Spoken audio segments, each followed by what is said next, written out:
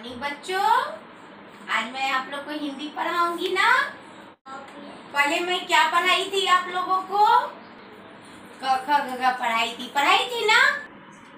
क, ख, ग क्या है? व्यंजन वर्ण व्यंजन वर्ण क। अब आप लोग को मैं पढ़ाऊँगी क से शब्द बनना। कि क से, ख से शब्द कैसे बनते हैं? सब लोग बोर्ड पे ध्यान दें।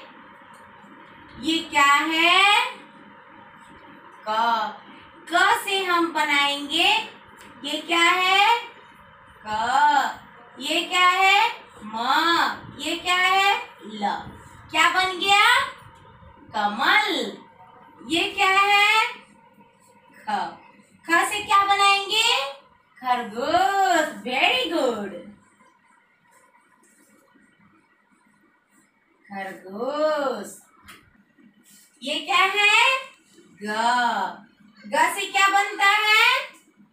गमला वेरी गुड ये क्या है? घ से क्या बनता है? घड़ी। चलिए। आप लोग अब इससे मालूम चल गया ना?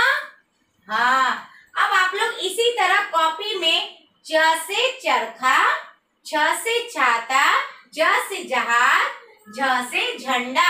आप लोग अपनी भी कॉपी में बना के लाएँगे ना? बना के लाएँगे ना?